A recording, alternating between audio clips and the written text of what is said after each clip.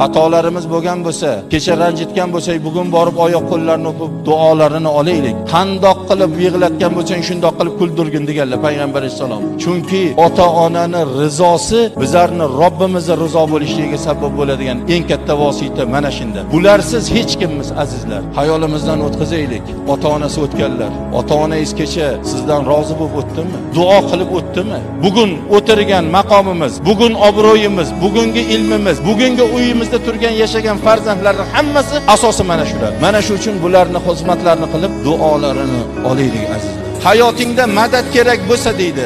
Madad so'zini teskarisiga o'qisa dadam degan so'z chiqar ekan. Hayotingga ma'no kerak bo'lsa ma'no so'zini teskarisiga o'qisa onam degan so'z chiqar ekan.